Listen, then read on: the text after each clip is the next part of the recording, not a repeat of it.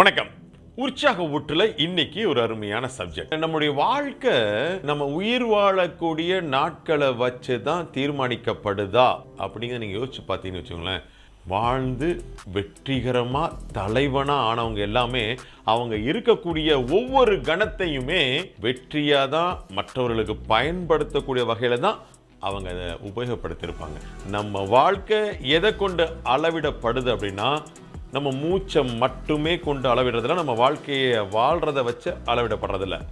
எப்படி வாழ்ந்தோம் யாருக்காக வாழ்ந்தோம் எதுக்காக வாழ்ந்தோம் என்னென்ன செஞ்சோம் நம்ம மூச்சு விடக்கூடிய ஒவ்வொரு தருணங்களையும் எதை செஞ்சு முடித்தோம் அப்படிங்கிறத எண்ணித்தான் நம்ம வாழ்க்கையே தீர்மானிக்கப்படுது.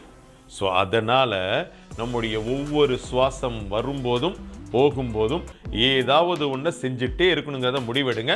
வாழ்க்கை உங்களுக்கு சுகமாக போய்கிட்டே இருக்கும். மீண்டும் சந்திப்போமா?